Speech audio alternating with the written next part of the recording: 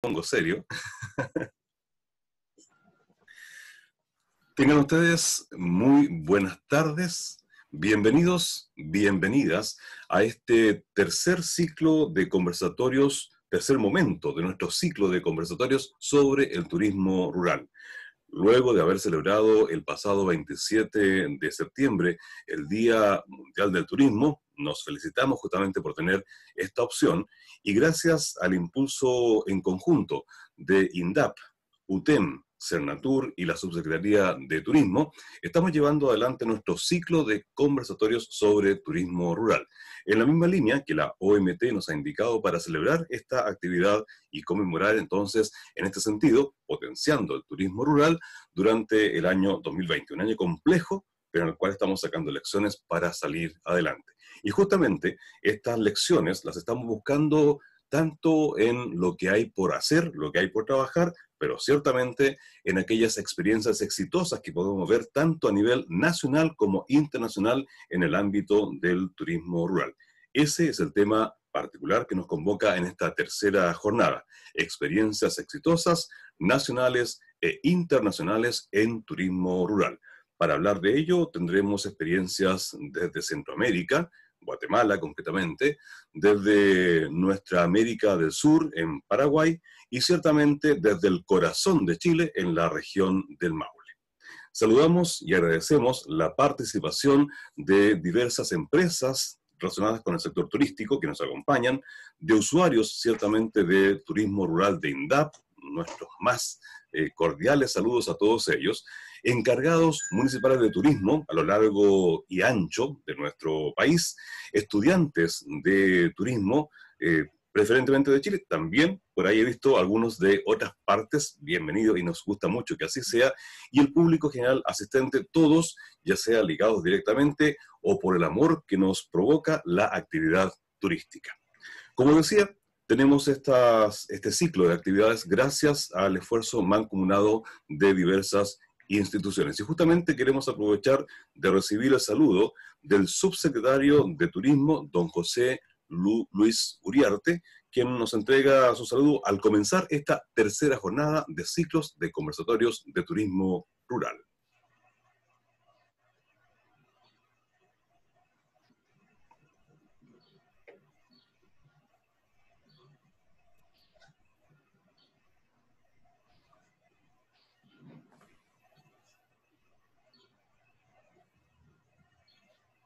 Tenemos un pequeño problema de audio. Eh, es parte de estos procesos. Nuestro equipo técnico está trabajando justamente en revisar esa situación y tendremos en cualquier momento no solamente la vista, sino también el sonido del saludo de nuestro subsecretario. Este año el Día Mundial del Turismo tiene su énfasis puesto en el turismo rural. De una manera distinta, en pandemia estamos celebrando este día eh, sabiendo que los efectos en el sector del turismo han sido muy duros. Sin embargo, tenemos una oportunidad. Al momento que vayamos recuperando los espacios que hemos perdido, el turismo rural se va a transformar en un eje muy importante en la reactivación del sector. El contacto con la naturaleza, el vivir nuevas experiencias va a ser fundamental. Pero tenemos que ser capaces de aprovechar las oportunidades y en ese sentido disminuir la brecha que tenemos en la digitalización es muy importante. En plena pandemia, el turismo rural se va a transformar, será de todas maneras una gran oportunidad para la reactivación del sector y es por eso que tenemos con optimismo prepararnos para el momento de la reapertura. Agradecemos el saludo de nuestro subsecretario, don José Luis Uriarte. Como les comentaba, este esfuerzo es mancomunado también, eh, ciertamente a través del trabajo en conjunto, que ya llevamos una historia de trabajo en conjunto entre UTEM e INDAP. Y de INDAP siempre tenemos la posibilidad de, en nuestras reuniones, compartir con una gran amiga, la encargada nacional de turismo rural, Karin Edwards, que nos saluda a continuación. Hola a todos, ¿cómo están? Qué bueno verlos. Eh, hoy reunió gran parte de está, representada Latinoamérica en esta tercera jornada de experiencia exitosa. Quiero saludar muy especialmente a Ana Mercedes, a Marcela Cigalupo, que ya la conozco, una gran amiga que ha venido apoyándonos en el trabajo del turismo rural con su junta subsecretaría, y a Javier Arellano, que tiene un producto muy interesante, Ruta Fudú, que ya vamos a poder conocer. Eh, nada, quiero dar la bienvenida a esta tercera charla en nombre de INDAP, agradecerles su presencia y agradecerles por hacer turismo rural y recordarles que tenemos una temporada que puede ser beneficiosa, que nos preparemos bien, que seamos responsables. Y nada, un gran abrazo para cada uno. Así que síganos más, don Juan Carlos, amigo mío. Muchas gracias, Karina. Un gusto siempre recibir tus saludos y por supuesto nos dan esta fuerza para seguir adelante en este trabajo mancomunado. Para saludar también tanto a nuestras y nuestro expositor del día de hoy y a todos los asistentes, escuchamos las palabras de la coordinadora del programa de competitividad turística de nuestra Universidad Tecnológica Metropolitana, doña Macarena Vallejos. Hola, buenas tardes, Juan Carlos. Eh, a nuestro presentador también le quiero dar las gracias por estar acá con nosotros y apoyarnos en esta actividad. ¿Se escucha bien? Perfecto. Perfecto, muchas gracias. Bueno, primero que nada, darle la bienvenida, ¿cierto?, a todos los asistentes a esta actividad, a este ciclo de conversatorios que hemos organizado en conjunto con eh, INDAP, con el programa de turismo rural, con la subsecretaría de turismo y con Cernatur, eh, en el marco del de, eh, Día Mundial del Turismo, que para este año el lema es Turismo y Desarrollo Rural, ¿cierto? Entonces, nosotros en esta alianza virtuosa con la Subsecretaría de Turismo, con INDAP y con Cernatur, eh, consideramos apropiado poder entregar este ciclo de conversatorios con charlas y con temáticas atingentes al desarrollo del turismo rural, eh, con expositores eh, relevantes a nivel nacional e internacional. Los nacionales son de todas partes de, nuestro país. Invitamos a participar también a estas actividades, tanto a los usuarios de INDAP, a nuestra comunidad eh, educativa, ¿cierto?, académica, y también a, toda la, a todo nuestro país y salimos al mundo también con estas actividades. Nosotros nos sentimos orgullosos orgullosos como programa de competitividad turística de poder ser parte del trabajo eh, que estamos eh, realizando en conjunto con INDAP para lograr un desarrollo sostenible de la actividad eh, rural en, em, en conjunto con la Subsecretaría de Turismo y Cernatur. nosotros sabemos que a través de las actividades de turismo rural podemos realmente ser una alternativa de desarrollo y de conservación de tradiciones y de revitalización también para ciertas comunidades y agregarle valor también a, los productos que el mundo rural tiene para nosotros, para ofrecernos. Eh, a través de nuestros proyectos, de estas actividades, nosotros lo que queremos es abrirnos a ustedes, a las diferentes comunidades y seguir trabajando en conjunto para mostrar estas iniciativas que son tan relevantes y que creemos sinceramente que tenemos que poner en valor y relevarlas. Vamos a continuar con estos desafíos y, bueno, agradecer ¿cierto? A, Ana Mercedes, a Marcela, a Javier, a la profesora Mafi Sandoval, que está por acá también con nosotros, que ella es la jefa de la carrera de Ingeniería en Gestión Turística, a Karin, eh, como representante de INDAP, ¿cierto? Y del director nacional, em, a Carolina Casas también, que ha estado trabajando con nosotros, y a, Saúl Pérez y a um, Claudio Loder, de Cernatur no quería dejar a nadie fuera y para finalizar y poder dar paso a las presentaciones, no quiero dejar de mencionar a nuestro equipo interno, que es Bárbara Vázquez, ella es profesional del, eh, de la carrera de Ingeniería en Gestión Turística, apoyo del programa también, a los estudiantes en prácticas, a Javier Pardo, a Daniela Ursúa, a Sebastián Carrimán, a Catalina Arellano que nos está apoyando acá, eh, como estudiante también de la carrera, porque esto no lo podemos construir solo, este es eh, un cúmulo de esfuerzos desde los empresarios, el sector público, la academia y todos, todos deberíamos trabajar para lograr que el turismo rural sea una real alternativa de desarrollo. Muchas gracias. Muchas gracias a ti, Macarena. Nos queda claro, por supuesto, nuestro impulso, nuestras ganas por desarrollar esta actividad y ciertamente, ya sea a través de estas eh, actividades como conversatorios o también de las actividades prácticas que seguimos desarrollando y esperamos seguir trabajando con más énfasis una vez que, esperemos, Dios mediante, eh, podamos salir de esta condición de pandemia.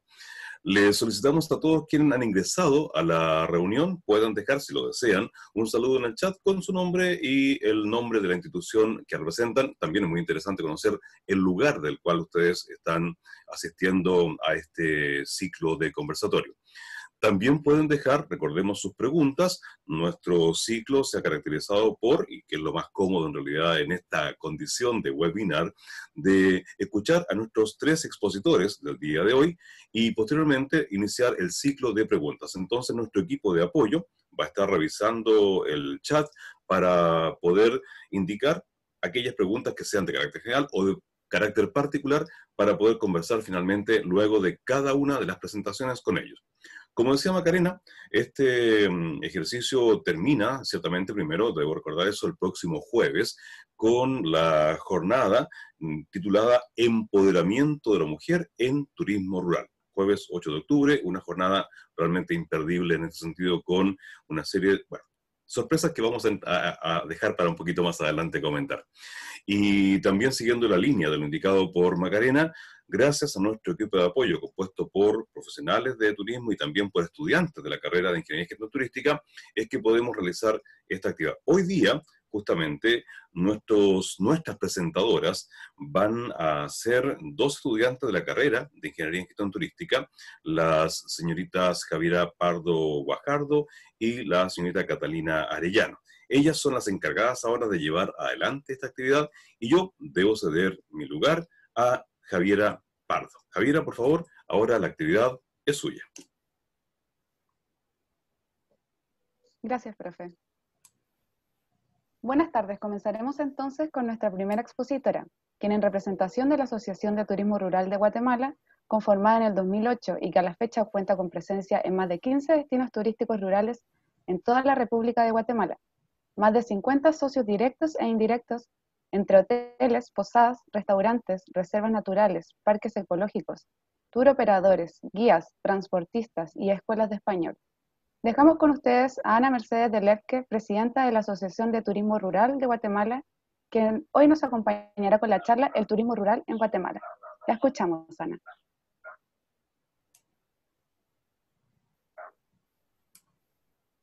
Su micrófono, Ana, está apagado. Ahora sí, gracias. Muy buenas tardes, muchísimas gracias a todos, primero por la invitación y segundo por esta nutritiva experiencia de compartir. Esto es un ganar-ganar. Eh, pues antes que nada quisiera hablarles lo que es Guatemala. Es un pequeño país de 109.900 kilómetros cuadrados. Tenemos al norte eh, vecinos a México, y al noreste tenemos a Honduras, Belice y al sureste a El Salvador. A pesar de ser un pequeño país, contamos con 22 municipios, eh, eh, departamentos o estados, en los cuales tenemos presencia ya en 15 de ellos. Somos un país multiétnico y pluricultural. Además, contamos con siete biomas. Podemos estar en muy pocas horas cambiar de, visión rural de este a oeste, de mar a montañas y cambiar de climas, ¿no? Eh, a pesar de que tenemos ese pequeño territorio y 22 estados, tenemos más volcanes, ¿sí? Ha sido una de las bellezas que tiene el país de tener 23 volcanes y lo traigo a la mesa porque es, ha sido una de las eh, maravillas de poder hacer la ruta de los volcanes en nuestro país y es uno de los productos mejor vendidos con el mercado eh, estadounidense y canadiense por la misma cercanía. Eh, sigamos adelante, por favor. Tenemos bastantes fotos para que les pueda quedar nuestra presentación de lo que hemos hecho como asociación. hemos hecho varios eh, eh, eh, congresos anuales nacionales, como también hemos podido adherirnos a la,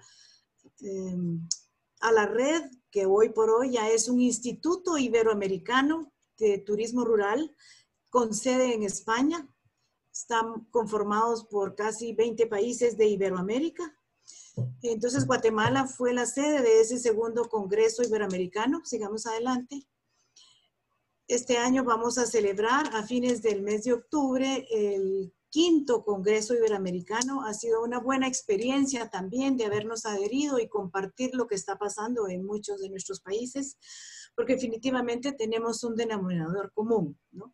Todos queremos atraer a la gente de las grandes ciudades, de las grandes urbes, seducirlas con el encanto rural y que vengan a poderse relajar y renovar con ese contacto con la naturaleza y en especial con el turismo humano, porque damos a conocer la identidad de nuestros pueblos.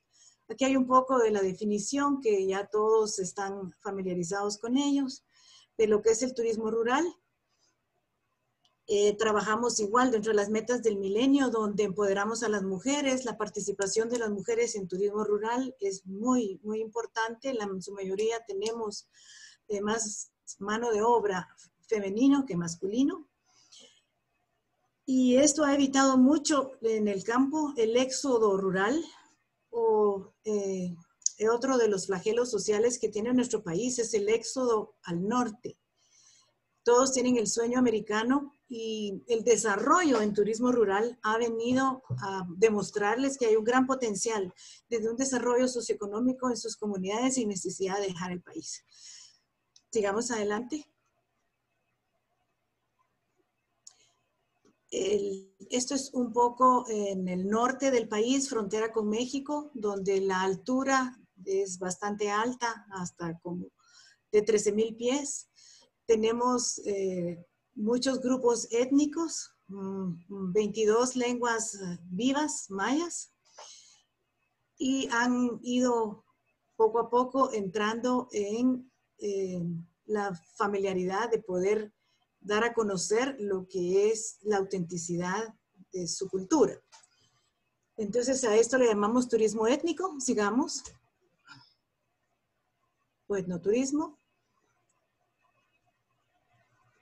Eh, también tenemos muchísimo turismo de naturaleza, aventura, que van de la mano. Sigamos. Por favor, tenemos en la presentación bastantes fotos. El turismo de observación de, astros, astroturismo, está muy de moda, eh, sobre todo en estas regiones de montaña, es espectacular. Y una de las ventajas que hemos sacado provecho es en todo, porque Guatemala es un país netamente agrícola, un gran exportador para muchas partes del mundo, Europa, Estados Unidos, eh, como Centroamérica, el cacao, el café y eh, la apertura de muchos de nuestros asociados, que son reservas naturales o fincas de... Eh, siembras de, estos cultivos, pues han, desarrollado bastante, dando a conocer los cultivos y el proceso de estos cultivos. Sigamos adelante, esta es una de cacao, agroturismo.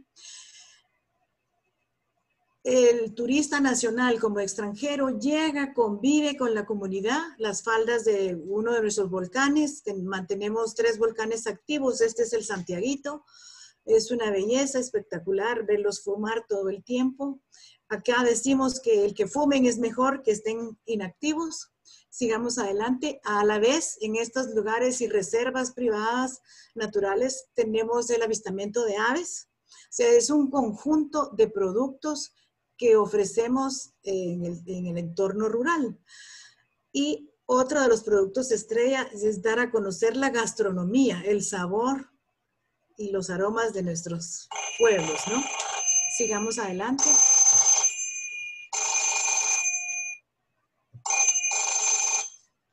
Como ven, siempre tenemos muchos volcanes en cualquiera de los escenarios que muestre Guatemala. Hay volcanes, sigamos adelante.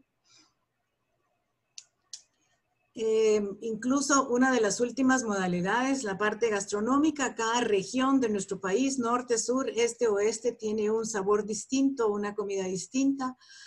Eh, hoy por hoy ya contamos con platos nacionales que nos identifican a todos, pero fue bastante difícil esa labor donde el Instituto de, Turismo de Guatemala pues tuvo una larga trayectoria en poder identificar estos por esa diversidad gastronómica que hay. Además, servido siempre con eh, productos totalmente orgánicos y auténticos, digamos. Mm. En nuestro país es muy colorido por lo mismo que somos multiétnicos. Esta es otra región, lo que le denominamos el corredor del bosque nuboso. Eh, tenemos siete biomas y uno de los eh, bosques nubosos es la parte más verde, digamos, del país. Un, un corazón verde maravilloso. Sigamos adelante. Sigamos adelante. Eh, y la combinación de tener un poco de hospedajes románticos y favorecer las escapadas. El misticismo y la espeleología también ha sido bastante desarrollada en nuestro mundo rural. Sigamos adelante. Este es nuestro logo como asociación eh, y este eh, de abajo, Guatequetzal, es nuestro logo de calidad, de identidad de nuestros asociados como también de nuestra parte mercadológica. Promovemos con Guate Quetzal nuestras propias escapadas rurales. Sigamos adelante.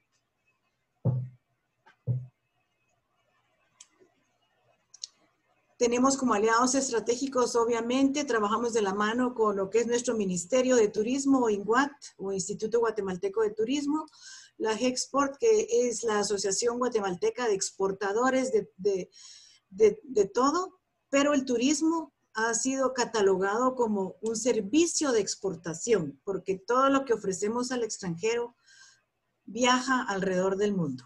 Luego somos también eh, fundadores del Instituto Americano de Turismo Rural y también hemos sido reconocidos, invitados a varios conversatorios con la Federación Europea de Turismo Rural. Adelante. Esta última tiene la sede en eh, la ciudad de Rostock, Alemania, y lo conforman más de 28 países, una experiencia muy interesante, 28 países con una diversidad de idiomas, ruso, alemán, español, inglés, y eh, el idioma que la federación maneja es el inglés para poder ser un medio de comunicación. Sigamos adelante. La ecoarqueología eh, Guatemala también, eh, ustedes saben que es el corazón del mundo maya.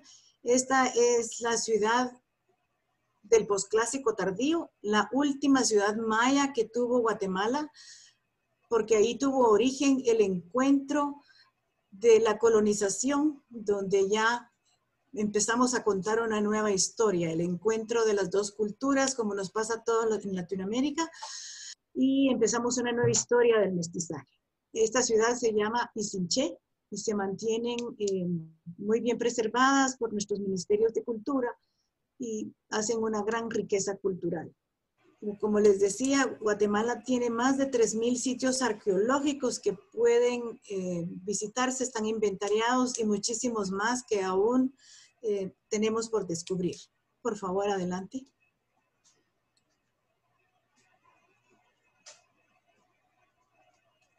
En el agroturismo, eh, Guatemala también se ha posicionado muy bien como un productor de, flores de exportación. Sigamos adelante. Las cabalgatas a caballo, eh, tenemos escuelas de eh, equitación también.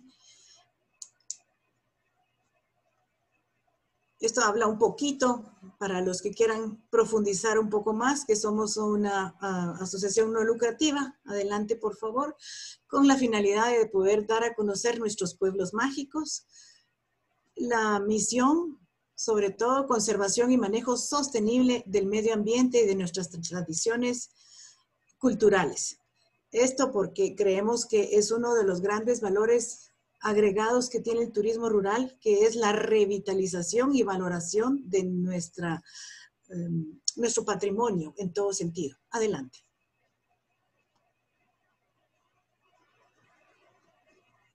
Los valores propios de nuestra asociación. Tenemos mucho la, eh, misticismo y espiritualidad, por lo mismo de la cultura maya.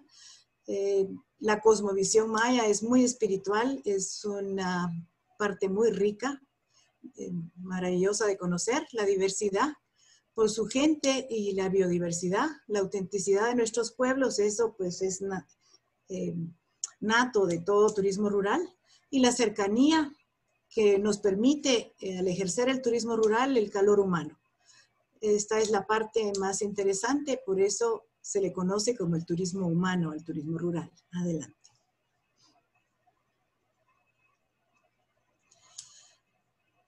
Hemos eh, visto que por lo mismo que somos una tierra de volcanes, estos termalismos son naturales, cerca de donde están los volcanes. Y viene a ser un complemento maravilloso porque el turismo rural te transporta a la naturaleza, te ofrece un poco de relax y de aventura, pero se complementa con estos termalismos, salud y bienestar. Y hoy, post-COVID, va a ser mucho más eh, solicitado, estamos cada día más convencidos. Adelante.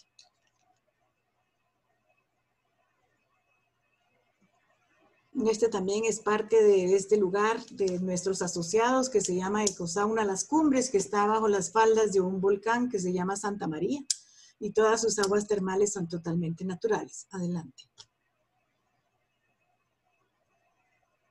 Nuestros objetivos, sigamos adelante, no los vamos a, a mencionar porque son muy similares. Trabajamos bajo un plan estratégico nacional donde convergemos y participamos en varias mesas eh, nacionales, sobre todo en la de aventura como la de naturaleza y gastronomía. Sigamos adelante.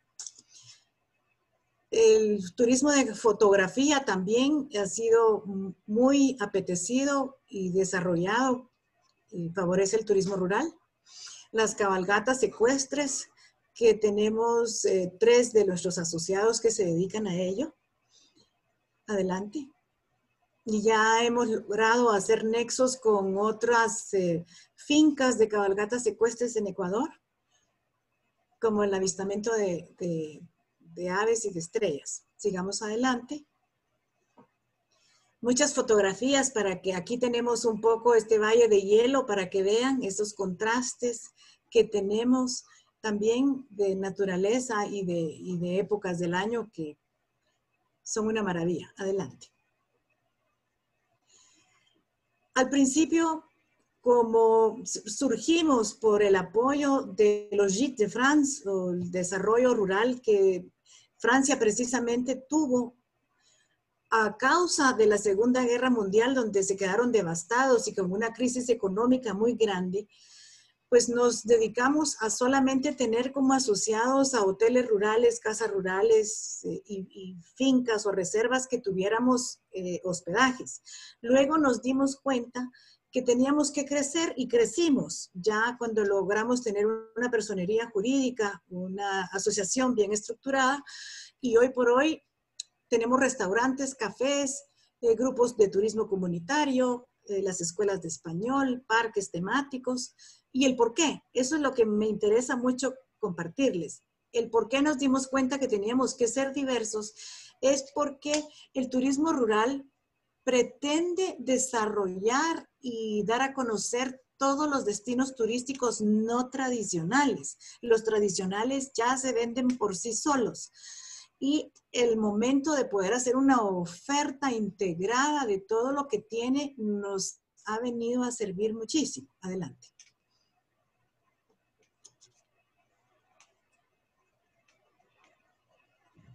En los socios senderos, eh, Guatemala cuenta con más de 115 escuelas de español concentradas en Antigua Guatemala, como en la ciudad de Quetzaltenango, y tour operadores y transportes turísticos. Esto vino a ser un complemento total a esa parte integral que queríamos de la oferta turística de los destinos no tradicionales porque son los que nos ayudan a transportar a estos turistas nacionales como internacionales y los tour operadores también, para que empezaran a desarrollar ellos mismos nuevos productos en destinos no tradicionales.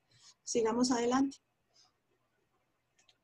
También contamos con eh, socios individuales, estudiantes y guías, y eso nos fue surgiendo a raíz de la en los mismos congresos, que ellos querían ser parte de nosotros y participar. Esto es una de las reservas que, naturales que se dedican a la agroforestal. Sigamos adelante.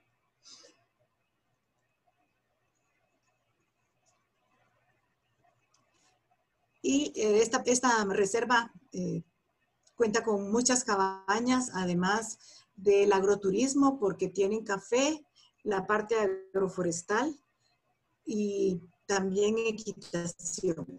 Así es que es una diversidad de productos que tratamos de integrar para que la estadía de nuestros turistas no solo sea de un día, sino al menos de dos días. Y qué mejor los que hemos logrado ya. Sigamos adelante, por favor. Qué mejor los que hemos logrado ya que sea una estadía de tres días. Aquí están todos los beneficios de nuestros asociados, que ya los interesados lo podrán leer. Sigamos adelante.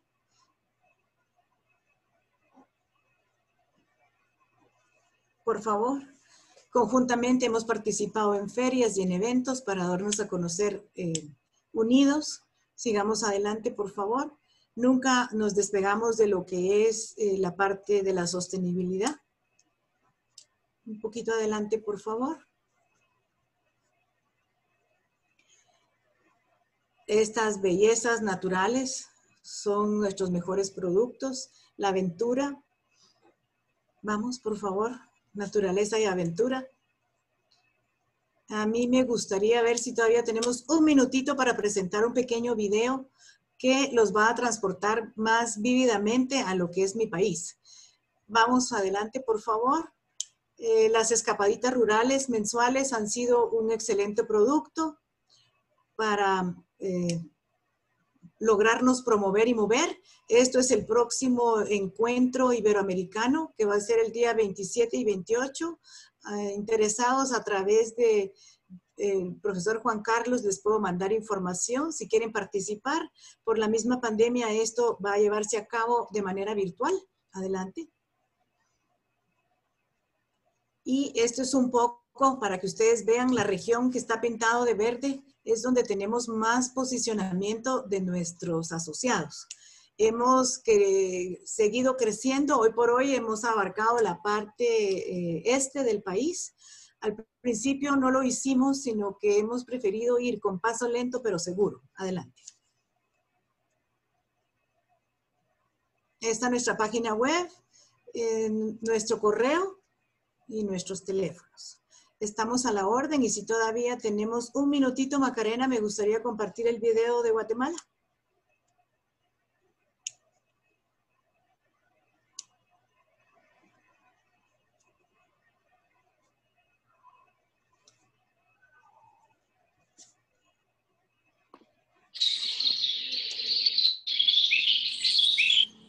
¿Escuchan el canto de los pájaros?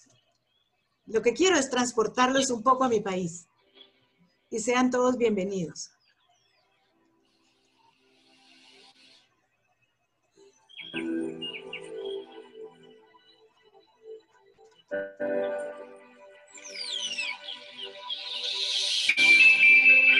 Todas las vistas y presentaciones son de nuestros asociados de distintos y diversos lugares del país.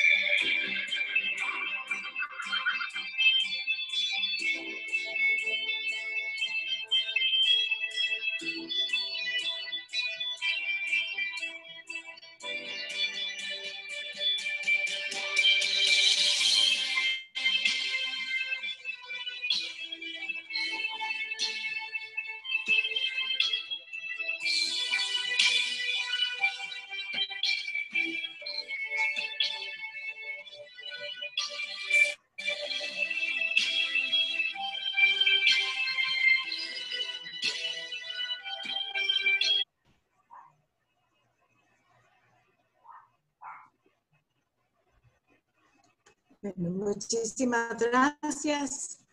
Esto ha sido todo hoy y estoy a la orden para cualquier pregunta eh, por escrito.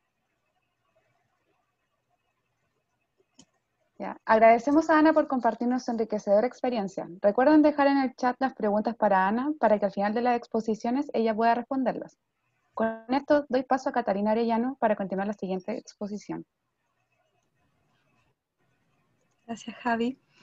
Damos paso a la segunda exposición, la que será realizada por una representante de la red de posadas turísticas del Paraguay, que reúne a las propietarias de establecimientos que ofrecen diversos servicios de calidad, como alojamiento y gastronomía, lo que está fuertemente ligado a la cultura y artesanía local. Hoy podremos conocer cómo el trabajo cooperativo en red han sido claves en el proceso de consolidación de esta oferta turística, que apunta a vigorizar el turismo interno, preservando las costumbres y tradiciones paraguayas. Dejamos con ustedes a una ex ministra del Paraguay que nos compartirá la experiencia de la red de poseos turísticas de Paraguay con la charla Empoderamiento y Desarrollo Local en Turismo Rural. Dejamos con ustedes a Marcela Basigalupo. Adelante, Marcela.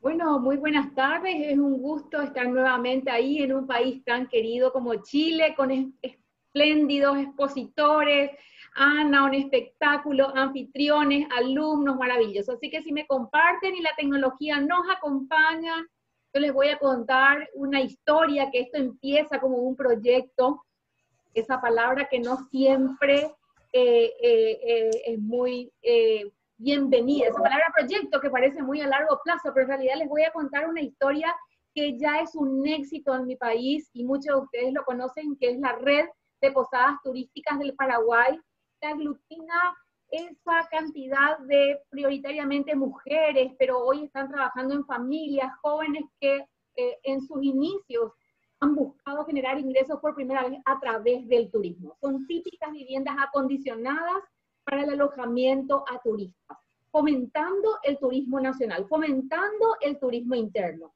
en donde se comparten eh, en comunidades relacionadas al ámbito rural, pero con altísimo valor turístico, donde la cultura, donde la naturaleza, donde la historia, la cotidianeidad, como decía Ana, la autenticidad se toca y se siente a flor de piel.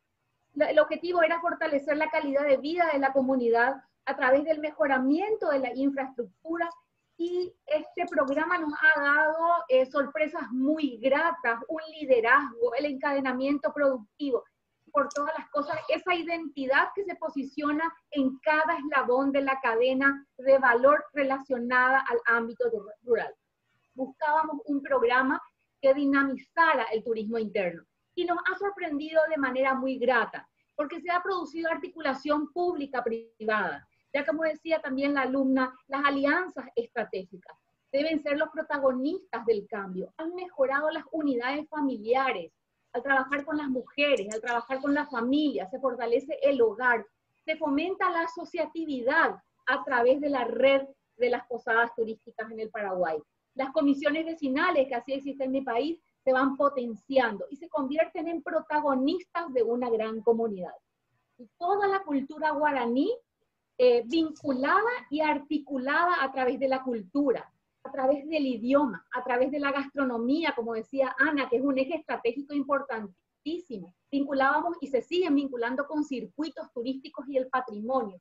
Cada detalle de las posadas turísticas hechas de manos de paraguayos, ya sea en la artesanía, ya sea en la producción y vinculando la actividad económica local, ya sea en la cadena de valor. Inclusive el turismo rural hoy está contando la nueva narrativa el storytelling que debemos transmitir, esa historia nueva que se debe contar y por sobre todas las cosas ofrecer alojamientos en ambientes de paz, en ambiente rural, donde prevalezca la tranquilidad, la naturaleza, pero también compartir esas actividades rurales en familia y en el marco del turismo comunitario. Estos son los nuevos lujos que nos vamos a permitir hoy, como decía eh, Juan Carlos, después de esta situación. La sencillez va a ser un lujo, la autenticidad y hacerle sentir al turista como en casa o quizás mejor que en casa. Esto solo se logra con mucha, mucha capacitación, con mucha fortaleza, pero no solamente capacitación en temas vinculados al turismo, también en empleabilidad, dando educación de calidad, conocimientos técnicos y por sobre todas las cosas, desarrollando habilidades blandas y desarrollando la empatía, que debe ser la gran característica del turismo rural. Estas son mujeres de carne y hueso. Estas son mujeres reales estaban en este momento aprendiendo clases, teniendo clases magistrales de cómo optimizar esa gastronomía guaraní que muchas veces estaba escondida. Entonces las invitábamos a sacar esas recetas de la abuela, de la tía, esas recetas auténticas, idénticas, quizás distintas entre regiones. Y sin embargo, contarles que eso generaba un valor agregado para los turistas. Ellas se convertían en los tías, en las tías o en las abuelas de los turistas o de las familias. La gastronomía local fue clave, porque a raíz de eso se han generado circuitos temáticos con relación a la producción local o de la gastronomía, fortaleciendo también a los eventos populares. Esas fueron las grandes pequeñas conquistas. La identidad gastronómica, esta es solamente una actividad y estas personas son importantes chefs de la capital Asunción que se estaban vinculando y abriendo esas técnicas estudiadas a técnicas sencillas que venían de las comunidades, apostando a, a responder ese objetivo de desarrollo sostenible del hambre cero y siempre en el ámbito de las alianzas estratégicas. Otra cosa que menciona la Organización Mundial del Turismo es que es clave el involucramiento de las autoridades, el involucramiento de los gobiernos locales. Y ya veíamos y vemos hoy cómo hay intendentes o alcaldes que están incorporando al turismo y hacen del turismo la política y incorporan en los planes de desarrollo local sostenible. Y ahí veíamos otro programa que enriquecía el programa Posadas Turísticas, muy vinculado de la huerta al plato. Menciona también la Organización Mundial del Turismo en una última edición días atrás, y ustedes lo verán, que es clave el turismo rural para el desarrollo de productos en la integración de la cadena de valor. Esa es la parte más rica que puede eh, involucrar y que debe involucrar el turismo rural. Eh, conectarse con cadenas de valor para superar la experiencia y hacer de ese viaje que el turista está buscando lo más sostenible posible.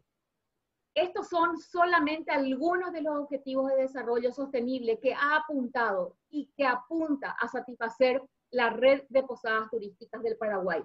Fin de la pobreza, hambre cero, educación de calidad, igualdad de género. Hablábamos del empoderamiento de las mujeres. Por supuesto, el turismo es trabajo, trabajo decente, crecimiento económico, reducción de las desigualdades al incorporar colectivos sociales que involucren a jóvenes y a mujeres. Y por supuesto, acción por el clima en el marco de las alianzas estratégicas. Los jóvenes son la clave de la sostenibilidad. Ese mundo en donde interactúan hoy los millennials, los nuevos consumidores de los productos, no solamente del turismo, en el mundo entero. Trabajar con ellos, entender el idioma, trabajar con ellos una nueva oferta turística para satisfacer la demanda de los millennials. En definitiva, la, emoción de joven la llevamos todos adentro. Pero lo más importante son que los jóvenes estén liderando las actividades de ocio, de esparcimiento, lo que hace las experiencias turísticas. Ya decía el Dalai Lama, todos estamos como turistas en este planeta, nadie vive por siempre. Hoy día la red de mujeres, la red de posadas turísticas del Paraguay eh, cuenta con más de 100 socias. Están apuntando a los objetivos de desarrollo sostenible específicos de la igualdad de género, tomando espacios de protagonismo y acción por sobre todo a reducir las desigualdades. Pero cuando hablamos del turismo rural, no lo podemos desasociar, perdón, a la gran innovación y a las nuevas tecnologías que necesita el turista entender y poder conocer a ese destino, a ese producto turístico y más aún, a esa experiencia, esa experiencia que transforma. El turismo interno, el turismo rural, el turismo nacional, hoy tiene la gran oportunidad. Pero les cuento un secreto, solos no vamos a poder llegar, solo en el marco de las alianzas estratégicas. Un evento donde he participado eh, y que me ha llenado de emociones es este concurso en Chile, hace poquito tiempo, Mujer Empresaria Turística, donde le escuchaba a doña Marcela, donde le escuchaba a doña Anita, que fueron las ganadoras del año 2020. Ellas estaban ya incorporando la nueva narrativa del turismo rural, ya invitándonos a conocer esa nueva experiencia. El turismo es el pilar estratégico de las políticas del desarrollo rural, hoy día. Y admiro a un país como Chile con su sello de calidad, el sello del turismo sustentable. Ya dice la Organización Mundial del Turismo y las Naciones Unidas, la urbanización es una tendencia dominante. Fíjense que para el año 2050, prácticamente el 68% de la población mundial vivirá en zonas urbanas. Es por eso que es el momento de desarrollar amplias zonas a favor del desarrollo rural, un turismo que favorezca el bienestar de las comunidades por sobre todas las cosas y que llame e invite al consumidor responsable. Es un placer estar aquí y un placer también poder responder a todas sus preguntas y yo les quiero decir un gracias en el dulce idioma guaraní de mi país, Ahuillé, yo chape de Paraguay. Vamos a vernos pronto en Paraguay, apenas se abran las fronteras. Muchas gracias y quedo atenta. Muchas gracias a Marcela. Recordamos a quienes se han unido últimamente que en el chat pueden dejar un audio y dejar, dejar un saludo y realizar preguntas para los expositores. Ahora comienza la tercera y última exposición donde conoceremos la experiencia de cómo sobre cómo el turismo rural es un motor de desarrollo local y pone en valor la vida en el campo. Y tal como afirma el expositor, para potenciar estas actividades es fundamental la gestión y articulación de los territorios. Este es el caso de Rutas Pudú, un tour operador, de la, un tour operador perdón, local de la, de la provincia de Cauquenes en la región del Maule. Hoy podremos conocer una iniciativa de trabajo con comunidades rurales en la charla Gestión y Articulación del Turismo Rural. Dejamos con ustedes a Javier Arellano Espinosa, geógrafo y co-creador de Rutas PUDUS. Te escuchamos, Javier. Hola, buenas tardes a todos y todas. ¿Me escuchan bien? Sí, Javier. Perfecto. Eh, bueno, me toca a mí en este momento eh, representar a, a, mi país, muy orgulloso por eso. Eh, bueno, comentarles primeramente que nosotros eh, somos Rutas Pudú, eh, un tour operador local que se basa en vivir, en entregar y crear experiencias turísticos rurales, em, vivir experiencias campesinas, genuinas, y por otro lado también hacemos actividades del tipo em, más outdoor vinculado con la naturaleza.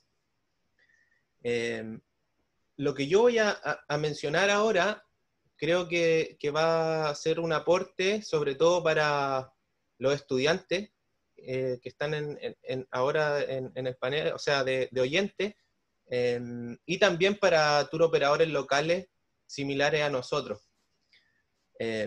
Nosotros dentro de lo, que, de lo que hemos desarrollado, somos bien un, emprendimiento joven, tenemos cinco años em, recientemente, eh, nos hemos dado cuenta de algo fundamental dentro del trabajo con, comunidades rurales, que en este caso nosotros tenemos una labor de tour operador, pero a la vez también somos gestores territoriales. Si pueden avanzar, por favor. Bueno, en nuestro territorio, nosotros estamos ubicados en, en Peyúgue, al sur de la región del Maule, a unos 360 kilómetros al sur de Santiago y a 170 al norte de Concepción, más o menos para que se vayan ubicando geográficamente en el mapa. Eh, la imagen que ustedes ven ahí eh, traduce lo que somos nosotros como territorio.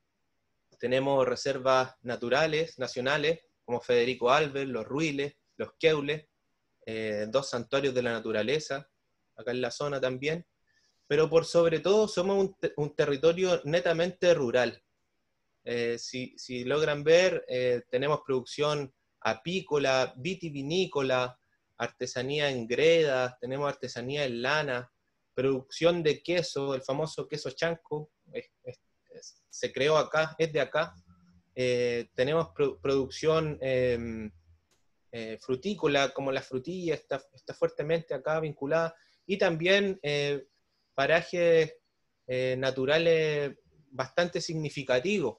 Por una parte, estamos en la costa, ¿cierto? Peyúgue, eh, Chanco y Cauquenes un poco más al interior.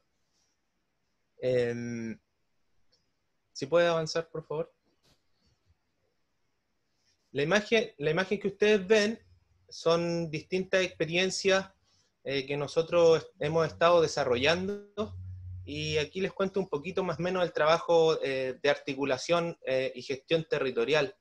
Eh, nosotros trabajamos con 25 familias de campesinos y campesinas de, la provincia de Cauquenes y em, las personas que ven ahí son algunos de, nuestros usuarios y esta una, tenemos una alianza, todos ellos son usuarios de INDAP.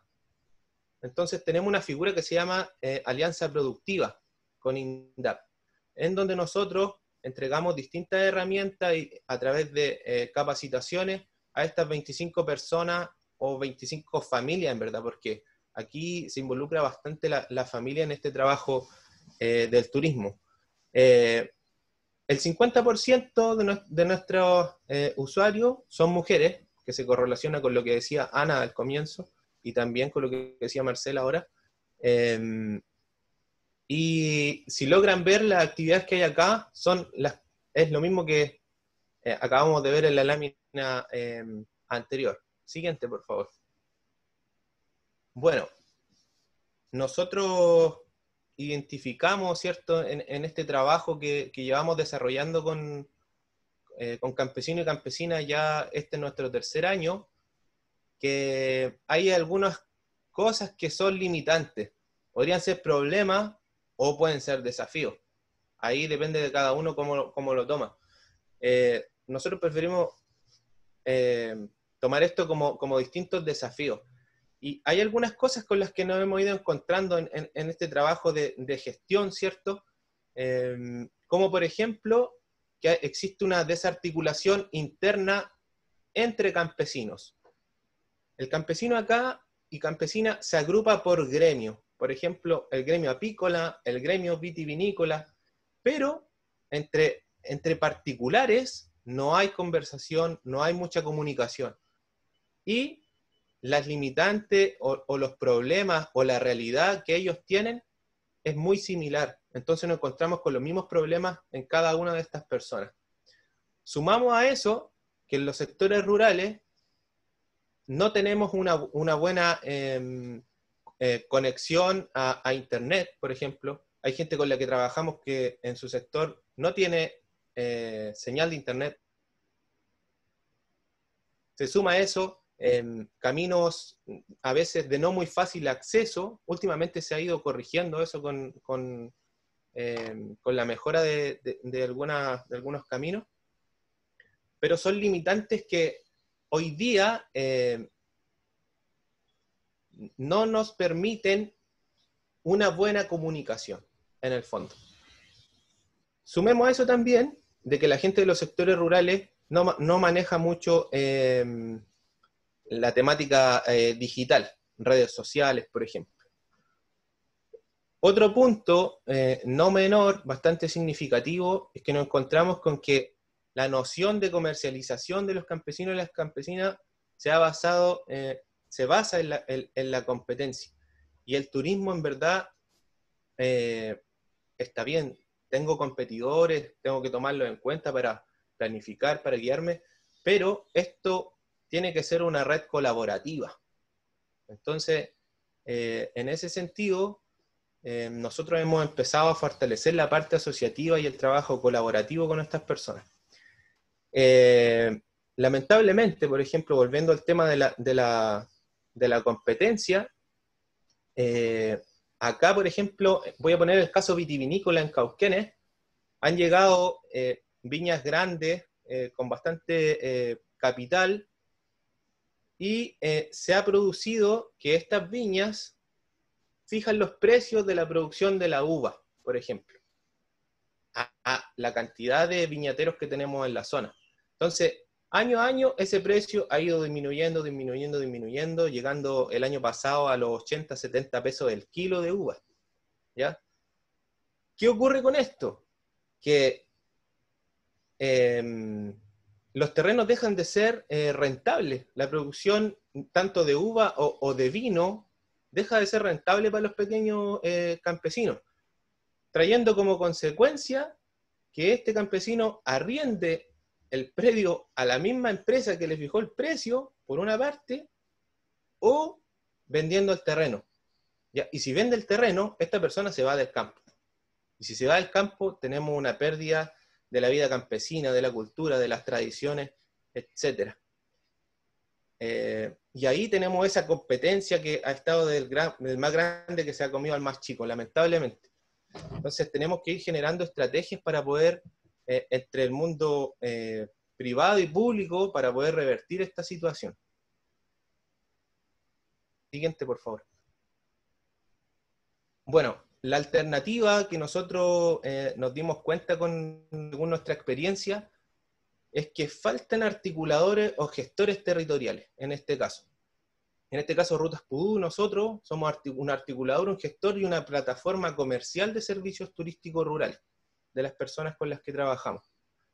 Em, por lo tanto, ahí hay, un trabajo que, es súper fino, que es, que, es clave, que es clave, em, basado, en este caso, en asociatividad. Como les mencionaba, nosotros trabajamos con, 25 familias y nos reunimos periódicamente. Eh, bueno, ahora nos ha costado un poquito más este año con el tema de, de la pandemia, pero igualmente hemos ido, hemos ido avanzando y fortaleciendo más el tema de, comercialización de productos. Eh, ¿Qué es lo que ocurre con esto? Nosotros, ¿qué lo, ¿qué es lo que hemos hecho? Hemos utilizado al turismo como una herramienta eh, de desarrollo local, como una herramienta innovadora, por lo menos para nuestro territorio, eh, que no tiene una vocación turística definida, y que un dato no menor somos, estamos catalogados como zona de rezago. ¿Qué quiere decir eso para las personas que eh, son de otros países, sobre todo? Que mm, tenemos eh, índices muy bajos, eh, tenemos mucha pobreza o vulnerabilidad socioeconómica en la zona. Y, por ejemplo, también en Cernatur, también tenemos la categoría eh, de un territorio em, con miras a, a, ser emergente recién, recién. ¿Ya? Pero bueno, independiente de eso, nosotros estamos trabajando y desarrollando una alternativa de desarrollo eh, complementaria eh, en el sector rural, que sería el turismo rural, que viene a ser una nueva economía campesina. Siguiente, por favor. Bueno, esto que ven aquí, eh, ese logo, es, Pecaucha, que es lo que hemos ido materializando con este trabajo en estos tres años. Eh, Pecaucha es por Peyúgue, Cauquenes, Chanco, que son las tres comunas y em, ahí pertenecen y, viven las personas con las que trabajamos, es el territorio en el que, nos desarrollamos. Entonces, eh, creamos esta red campesina de turismo eh, la cual ofrece servicios turísticos rurales, también tiene un, área de venta de productos. Acá, por ejemplo, nosotros en ese, en ese ámbito obviamente no nos vamos a meter, no le enseñamos a la gente a elaborar vino ni a, ni a cosechar o producir miel. Somos ignorantes en ese tema. Ellos son, son maestros en ese tema. Y por otro lado, lo más probable es que eh, a fin, ahora, un par de meses más, empecemos ya la tramitación para conformarnos como una cooperativa de turismo.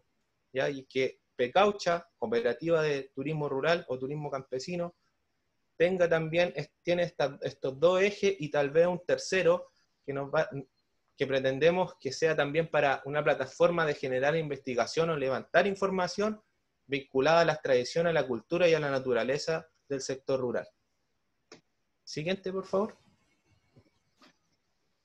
Ahí eh, otra imagen de otro asociado eh, de, nuestro territorio y distintas actividades, producciones de dulces, mermeladas, eh, bueno, lana, fruta, huevos de codorniz, jugo de uva, eh, queso fresco. También hay espacios eh, vinculados al bienestar y al desarrollo integral de las personas. Otros, pesca artesanal. Acá tenemos una mezcla importante y significativa de, del, campo y el mar. No existe una zona de transición eh, notoria. Tenemos campo y mar, está pero eh, unido considerablemente. Desde ahí surge una gastronomía, gastronomía eh, singular también aquí en este lugar, mezcla de mar y tierra. siguiente, por favor. Y bueno, los canales que tenemos para que, si es que nos quieren conocer, rutaspudu.cl, en Instagram, eh, Pecaucha, por una parte, y por otra, eh, Rutas Pudú. Hay algunas imágenes también de nuestras plataformas digitales, muy importante hoy día, eh, ya que, como bien mencionaba recientemente Marcela, hoy día el turista, el turista o, no, no, lo llamemos cliente, llamémoslo, llamémoslo turista, es un turista que es digital, ¿ya? Y si se fijan bien, eh, turista 3.0 que le están llamando, eh, es un turista que tiene redes eh, colaborativas, pero que son digitales a través de su celular. Si uno postea una cosa, la ven distintas personas y esa persona la repostea y se entera su red colaborativa, etcétera. Es un, es un, es un tejido gigante. Así que aprender a usar la, las redes digitales y, de buena manera. Siguiente, por favor. Esa sería eh, la presentación que les tiene Rutas Pudú y los invito a acercarse igual a nuestras redes sociales si nos quieren escribir, compartir experiencias, estamos abiertos también a eso. Muchas gracias. Muchas gracias Javier por compartirnos su experiencia y por hacernos parte de Rutas Pudú. Gracias a usted. Hemos escuchado interesantes posiciones que nos permiten conocer más sobre experiencias nacionales e internacionales en el ámbito del turismo rural. Y para algunos pueden haber surgido dudas que esperamos que nuestros expositores puedan responder. Es por esto que a continuación Juan, Carlos Cantillana, académico de la carrera de Ingeniería en Gestión Turística, moderará las preguntas que han dejado en el chat dirigidas a nuestros expositores. Muchas gracias, Catalina, por el pase. Eh, quiero agradecer de verdad, sinceramente, la rica experiencia que han compartido con nosotros Javier, Marcela y, Ana. Y también, eh, qué pena, en la parte final de, la presentación de Ana tuvimos un pequeño desfase ahí tecnológico que nos eh, bajó un poquito la calidad del sonido. Incluso entiendo que se nos interrumpió por un momento en la presentación, el final del video. Pero yo creo que las ganas de ir a Guatemala, como decía por ahí también Mafi en el chat, las ganas de volver a Guatemala en el caso de ella, de nosotros de, ir, de compartir esto, de conocer esto, yo creo que quedan justamente más vivas todavía con esta situación. Eh, de hecho, quiero partir, y ojalá que ahora tengamos eh, mejor eh, situación de señal con, con Ana Mercedes, Quiero partir justamente con un par de consultas de las varias que nos han llegado, en este caso para ella. Em, Ana Mercedes, nos están preguntando dentro de lo que nos va llegando si existen, en el caso de, ustedes, algún tipo de lineamiento para la creación de productos de turismo rural. Es decir, eh, trabajan en base a una propuesta que ustedes desarrollen y, que definen en qué enfocarse o, qué otra estrategia eventualmente tienen. Y si junto con ello, porque a lo mejor va relacionado, si también eh, existe algún tipo de colaboración, de red de trabajo con estudiantes o con universidades que les permitan eh, apoyar en esta labor porque veíamos hacia el final que también es posible ser parte de esta red para personas que aún no están operando necesariamente. Ana, eh, no tenemos tu imagen, pero esperamos tener tu voz, al menos. Eh, muchísimas gracias, Juan Carlos. ¿Me escuchas?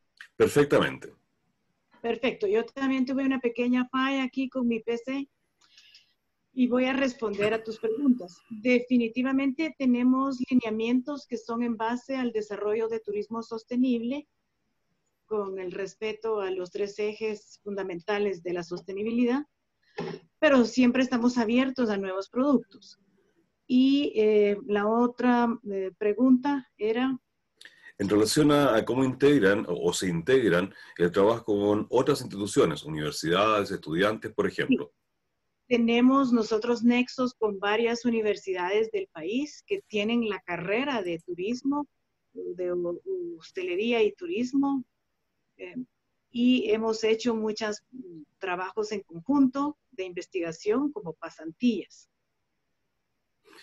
Ana, eh, si yo, eh, y creo que interpreto a muchas personas de los presentes, si yo decido, ojalá que pueda, que esto sea como una suerte de, anticipación, eh, estar en Guatemala, ir a Guatemala, disfrutar del turismo rural en Guatemala, ¿por dónde me recomiendas partir? Yo sé que es difícil, porque uno quisiera ver todo, pero hay que de repente seleccionar y, dime cuál sería, yo no conozco Guatemala, cuál sería eh, la entrada, que, ¿dónde me recomienda llegar? Por ejemplo, si tú me preguntas en Chile, yo te digo, vaya a ser Maule, vaya a Peyúgue, ¿cierto Javier?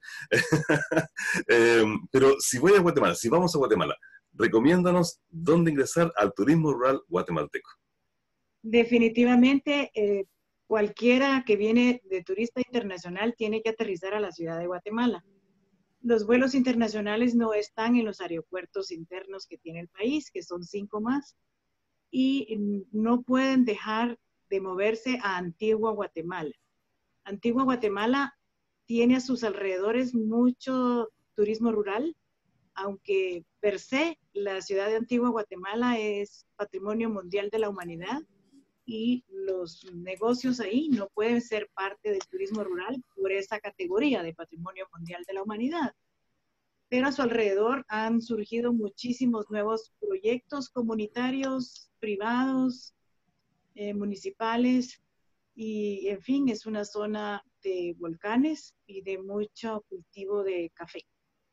Luego, después de estar en Antigua Guatemala, ya puedes moverte a Sol y Playa, que es para el sur, al centro norte, que es la parte altiplano del país, que es la parte más colorida, o a la parte más norte, que tiene los bosques más verdes de la región. Así es que bienvenidos a Guatemala. Muchas gracias, Ana. La verdad es que esperamos que esto termine y que podamos eh, hacer realidad estas inquietudes. Para compartir para conocer cómo se produce este fenómeno tan interesante de turismo rural en otras partes de nuestra gran casa latinoamericana. Eh, y en Paraguay, eh, por ejemplo, eh, entre las preguntas que nos han hecho llegar nuestros asistentes, algunos se preguntan si así como en Chile, nos contaba Javier, hay zonas con problemas de conectividad, hay problemas de repente en el tema de acceso a Internet y, y también un problema que se puede dar que hemos visto en otras instancias de mm, la, eh, el analfabetismo digital, que en el fondo es, básicamente eso, ¿cierto? la problemática de, acceder a estas herramientas. Ustedes, Marcela, eh, tienen estos problemas, compartimos estos problemas, ¿qué hacen frente a estas situaciones? ¿Cómo enfrentan estas gran, estos grandes desafíos, tanto de lo público o como de lo privado? Bueno, eh, yo creo que compartimos esos problemas con, algunas grandes, con algunos grandes países de Latinoamérica, el tema de la conectividad. Por eso mencionaba siempre que el tema de siempre pensar eh, en qué, cuál es la tipología de turista que nos visita, estar siempre conectados.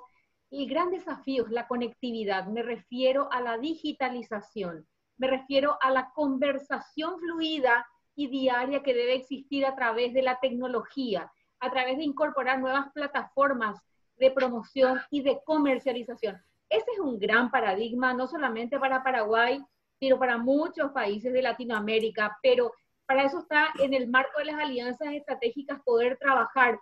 Me encanta eh, el tema de trabajar en cooperativismo, en trabajar en términos de red, trabajar en términos asociativos, porque no solamente estás solucionando el problema de una persona, de una iniciativa, sino se pueden trabajar plataformas de comunicación adaptadas a la necesidad.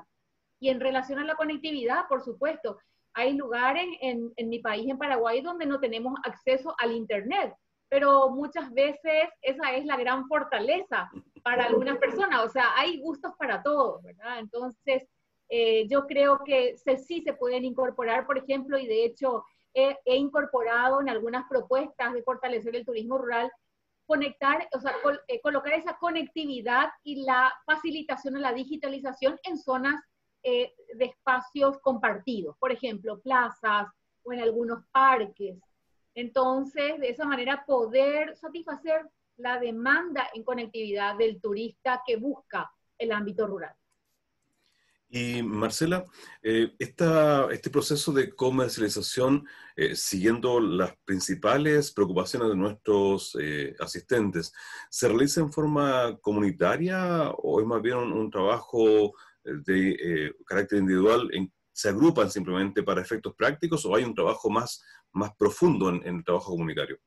Bueno, yo creo que hay que hacer una linda combinación de ambos. Hay que promocionarse individualmente a través de las plataformas de promoción y comercialización que más se adaptan a la tipología, porque cada establecimiento de turismo rural es distinto a otro. No tienen las mismas características. Las actividades de ocio y esparcimiento que ofrece un establecimiento es totalmente distinto a otro. Y esa es la fortaleza del turismo en el ámbito rural entonces, cada cual se puede amigar con alguna plataforma digital, eh, pero sí se pueden hacer negociaciones en conjunto desde un punto de vista gremial o asociativo. Es por ello de la importancia de la asociatividad del trabajo en redes.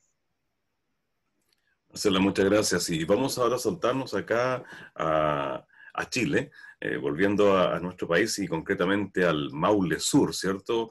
Eh, Javier, ¿e-, ¿esa era una J el símbolo de, la agrupación? Ah, una antigua J, sí, sí, la, reconocía, me, llama a lugares de niño.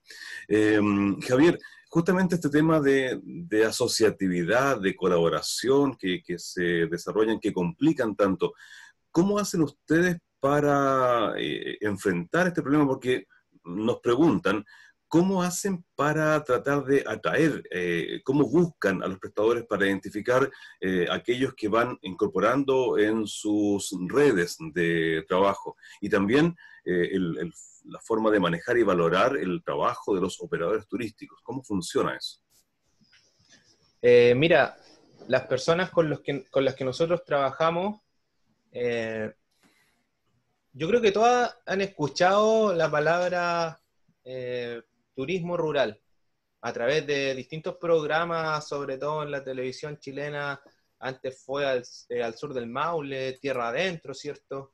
Eh, lugares que hablan hoy día eh, en la televisión, que siguen un, eje temático de resaltar y valorar la vida natural y, la, patrimonial de los distintos rincones de, de este país.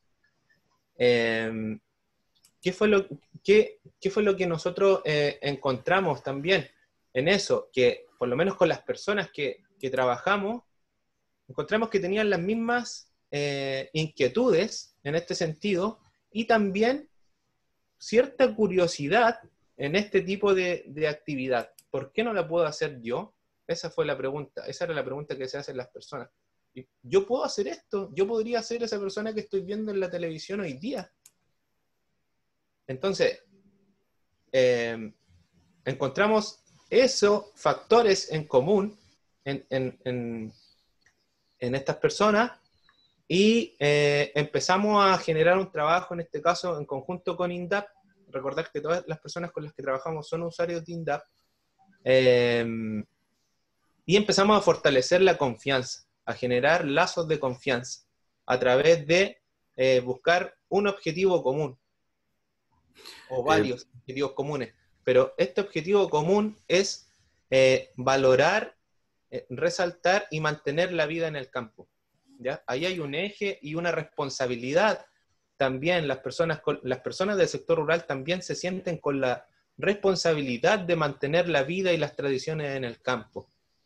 Y también salir de esa noción de marginalidad, el campo como un sector marginado, ¿cierto? Mm. Postergado. eso es, una barrera que nosotros hemos ido superando y, a través de la convergencia de, de ideas. No sé si respondo bien la pregunta. Sí, perfectamente. Javier, yo veía en el, en el, chat, entre las varias zonas de que nos saludan, también la parte norte de, del Maule, de Gualañe, pero también vi por ahí eh, personas desde Pilén, desde Peyúgue, eh, digamos Maule Sur. Em, ustedes, y la pregunta es como bien directa, eh, concreta, ¿ustedes siguen abiertos a aceptar otras propuestas de operadores, de personas que desarrollan turismo rural y que se integren a sus productos? Eh, siempre estamos abiertos a, nuevas propuestas. Eh, siempre hay que estar abierto a, nueva información, a que, la información se mueva, fluya, ¿cierto? Eh, no podría responder por Pecaucha, porque Pecaucha son 25 personas, 26 quizás, contando a Rutas Pudo como una persona también, porque esa es una decisión de todo el grupo. Eh, pero nosotros, por ejemplo, como Rutas Pudú, sí estamos abiertos a trabajar con más personas, indudable, indudable, siempre hay que hacerlo. Muchas gracias. Eh, yo entiendo, hay una pregunta acá que es bastante como eh, amplia y me imagino que es una pregunta que se puede proponer a cualquiera de nuestros expositores del día de hoy, tanto a Ana como a Marcela como a Javier. Eh, pero también eh, eh, algunas personas que han tocado el tema, les gustaría conocer el punto de vista sobre este tema que tiene Mafi Sandoval. Mafi, como hemos visto, es nuestra directora de la carrera de Ingeniería Turística y que ha estado con nosotros acompañando ciertamente todo el tiempo. Entonces yo quiero invitar a, a Mafi si, si nos puede ayudar un poco a, guiar esta idea. Y si después eh, cualquiera de ustedes, Javier, Marcela, Ana, quieren complementar lo que indique Mafia respecto a esta pregunta, bienvenidos sean. ¿Cuál es el tema? Y este que, ha aparecido como recurrente. Eh, el tema de la pérdida de la vida campesina existe. Tú lo proponías, Javier, recientemente de manera muy clara. Eh, cómo esta sensación, esta situación de, encontrarse frente a una pérdida de la forma de vida campesina, estos modos de vida tan particulares, y cuál sería una buena manera de lidiar con esta situación. Javier nos ha presentado una propuesta concreta, ahí hay un, ejemplo específico y hemos visto, aunque no sea dicho en forma directa, cómo están trabajando un poco Marcela y Ana. Y yo quiero aprovechar, insisto, de plantearle esta pregunta a Mafi, si es que no te incomodo, Mafi, porque estoy respondiendo a la inquietud de nuestros asistentes. Eh, hola Juan Carlos, eh, bueno, a todos los asistentes que tenemos todavía aquí conectados. Em, yo básicamente creo que dentro de esto, eh, cómo nosotros evitamos eh, no podemos desconocer este gran éxodo que, ha existido, que sigue habiendo desde el campo a la ciudad por la juventud buscando nuevas oportunidades. Eh, yo esta pregunta la he hecho muchas veces en clase y quizás por eso la están planteando eh, estudiantes, porque justamente mi pregunta siempre ha apuntado hacia ellos, sobre todo para eh, quienes vienen desde em, la ruralidad, desde el campo, desde comunas rurales, a estudiar la carrera de ingeniería en gestión turística, es decir, qué los movió a estudiar esta carrera. Y la verdad es que siempre me ha sorprendido gratamente porque ellos quieren volver a su lugar de origen. Ellos quieren volver a estos espacios rurales, pero con herramientas que le permitan el poder optar a una mejor calidad de vida eh, considerando de que el entorno en el cual ellos están ya tiene calidad de vida. Entonces, creo que eh, esto lo vamos a poder eh, superar en la medida en que se generen las condiciones laborales dignas en el campo para que las personas, los jóvenes, tengan esa alternativa de poder quedarse en esos espacios y con ello el mantener estas tradiciones, porque en la medida que nosotros no valoremos esas tradiciones, lamentablemente se van a seguir perdiendo. Entonces, aquí hay un tremendo trabajo que tiene que ser en conjunto, por ejemplo, con el Ministerio de la Cultura, que, se desarrolla, que se hace en Chile, eh, pero siempre esperamos más. Y esperamos más con recursos que permitan operacionalizar esas acciones, porque quizás todos tenemos muy claro de qué es lo que tenemos que hacer. El tema es cuándo comenzamos y con recursos para que efectivamente eso eh, no quede solamente escrito, sino que se materialice. Creo que eso es, eh, Juan Carlos, eh, es un tema por el cual yo en forma personal vengo del campo, me crié en esos espacios rurales y la verdad es que cada vez que tengo la oportunidad de conectarme, no cambio esa vida que uno puede tener en esos espacios. Por lo tanto, em, creo que tenemos una tremenda labor desde, desde, lo que es la actividad turística para poder eh, dar valor a estas tradiciones eh, que el campo representa dentro, dentro de todo este patrimonio tangible e intangible ahí vamos a llegar quizás, este, tenemos que trabajar, habemos harto, somos muchos, tenemos que sumar esfuerzos. Y eh, me gustaría igual escuchar eh, qué es lo que se está haciendo en el caso de Guatemala. Aprovecho de saludar a Ana Mercedes. Ana Mercedes, muchas gracias por acoger esta invitación. Aprovecho también de agradecer a Alejandrina de Linguat de Guatemala, quien nos puso en contacto para poder disponer de esta presentación y de encantarnos nuevamente, de encantarme nuevamente con Guatemala, como indiqué, y por supuesto Marcela. Eh, el Paraguay tiene también muchos encantos, tiene una riqueza cultural en los ambientes rurales que bien vale la pena de sumarnos para poder seguir trabajando por esto que nos apasiona, que es el turismo. Gracias Juan Carlos, espero haber respondido. Perfectamente, Mafi. Yo quiero ofrecer la palabra a cualquiera de nuestros expositores, si quieren también expresar alguna opinión respecto de esta gran pregunta que nos hacemos, que es cómo eh, tratamos de manejar, de revertir quizás de alguna forma esta pérdida de vida campesina eh, y justamente encontrarle eh, una forma concreta de darle este valor. No sé si Marcela, Ana, Javier quieren hacer un comentario sobre esta temática. Sí, me encantaría hacer un comentario, después a lo mejor darle, sí, perdón, perdón, Ana. sí, adelante, adelante. Bueno, eh, me encantó lo que ha dicho Omar Filda y entonces eh, en esa misma línea decir que cuando trabajamos la oferta turística en el ámbito rural, nada debe suceder sin el total consentimiento, la inclusividad y la participación de lo que llamamos desde el turismo los locales, es decir, darle destaque a la localización. Cada región, cada ciudad, cada pueblo, cada comunidad tiene un ritmo. Y los que trabajamos, los que nos vamos a trabajar a una ciudad, nosotros somos los que tenemos que adaptarnos a ese ritmo. No podemos imponer, no podemos hacer copy-pegue de lo que ha sucedido en otras localidades. Y otra cuestión que ha mencionado Marky, me encanta, si no trabajamos, y siempre yo lo digo, si, no trabajamos con los jóvenes, si no trabajamos con ese segmento de los millennials que son los grandes consumidores del mundo, entonces no vamos a poder conocer el idioma en que ellos hablan, el idioma para trabajar la oferta turística, el idioma para poder comercializar y más importante aún, el idioma de cómo se comunica hoy la historia que está ocurriendo en el turismo rural. Gracias, Juan Carlos. A ti, Marcela. Ana o Javier tienen la palabra si lo desean, no, no es obligatorio tampoco. quieren expresar alguna opinión. Ana. ¿Me permites, Juan Carlos, me escuchas? Sí, perfectamente.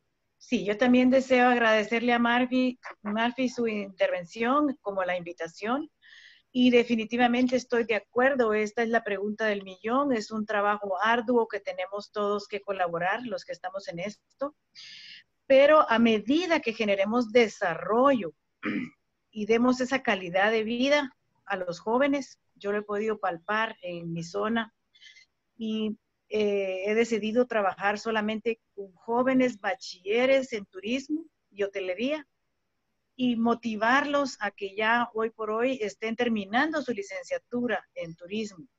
Y esto los estamos empoderando, los estamos empujando a que se profesionalicen y desarrollen culturalmente. claro que también las iniciativas de gobierno que nos apoyen y valoren todo este trabajo es significativo. Pero es un trabajo de no claudicar y de muchos para seguir adelante. Creo que la vida rural tendrá que seguir por mucho tiempo. En mi país, por lo menos, lo vemos así, por ser netamente agrícola, y esta calidad de vida tiene que seguirse dando. Gracias. A ti, Ana Mercedes. Javier, Carlos, por sí. favor.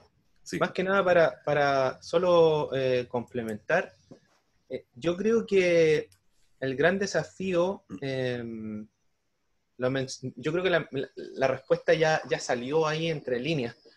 Eh, nosotros creemos que hay que poner en valor la vida y las tradiciones y la cultura del campo. ¿Qué quiero decir con eso? Que si voy a generar turismo rural, yo no puedo llegar de afuera a imponer un proyecto hacia adentro. La iniciativa o lo que se cree, lo que podamos crear o co-crear, tiene que ser desde lo local a lo global.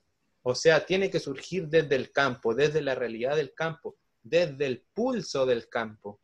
¿Cierto? Un amigo por ahí me dijo, el, tiempo en el campo es orgánico.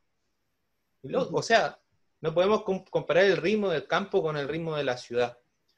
Entonces, todos los procesos son distintos. Las iniciativas tienen que eh, valorar o hacer notar todos, e- todos estos procesos, poner en valor los procesos y las tradiciones, el conocimiento del campo, patrimonio inmaterial que está ahí todos los días funcionando, todos los días, todos los días. Eso mantiene vivo al campo. Si mantenemos a la gente en el campo, mantenemos la identidad de los lugares. Eso quería complementar. Muchas gracias, Javier. Y la verdad es que ese tiempo, e- esa condición orgánica del tiempo de campo, me lleva directamente a la imagen que nos sirvió como postal de fondo para la invitación. Esta vista del río Chobellén, ¿cierto? De una tinaja con agua caliente. Dentro de los productos, me imagino, eh, esto está relacionado, aquí hay una eh, fuerte inclinación hacia Ruta Pudú. Eh, yo reconozco la zona, por eso lo, lo menciono. Eh, y entonces es como fantástico tener esta imagen de tranquilidad. Y a propósito de imagen, eh, quisiera pedirle si es posible también a Ana y a los expositores en general, si pueden, bueno, ustedes, Javier, Marcela, mantener eh, sus eh, cámaras encendidas. Y no sé si Ana, porque me contaba ahí que tuvo un pequeño problema con su computador, porque nos gustaría poder tomar la fotografía de los participantes en esta um, experiencia del conversatorio de turismo rural. ¿Es posible Juan que tengamos las cámaras?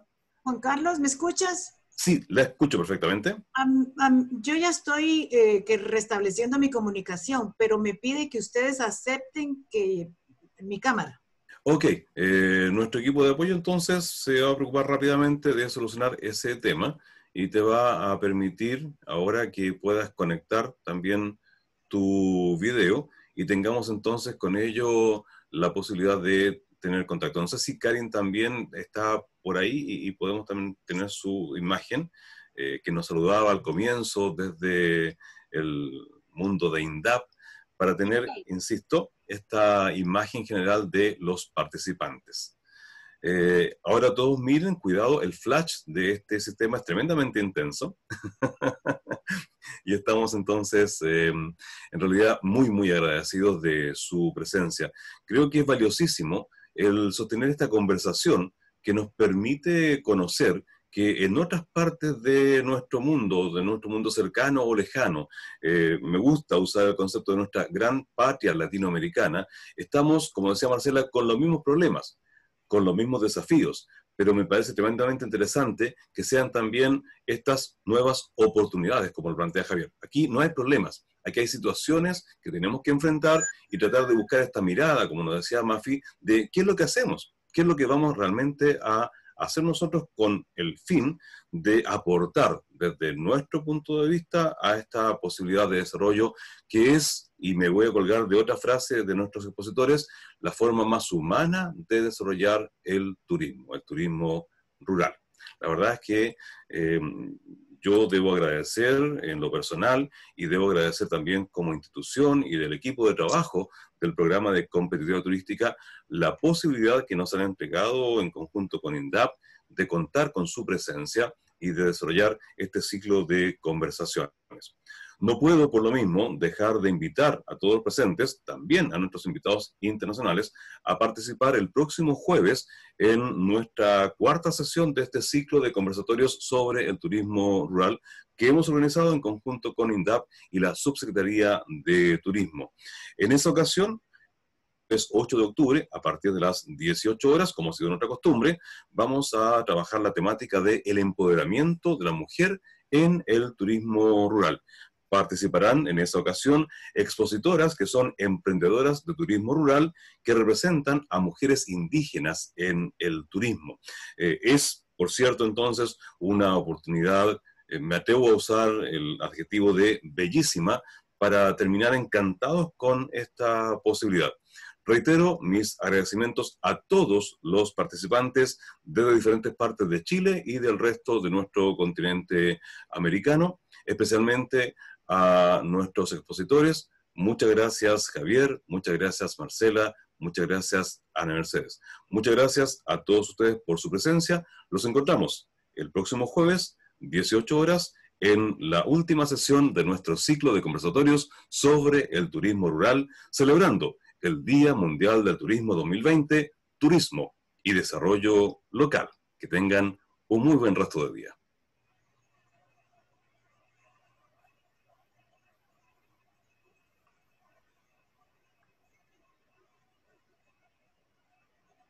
Ahí tenemos a Ana Mercedes y la agregamos en la fotografía. Muchas gracias, Ana Mercedes, por volver a conectarte con nosotros. Hoy ya estamos eh, fuera de, supongo,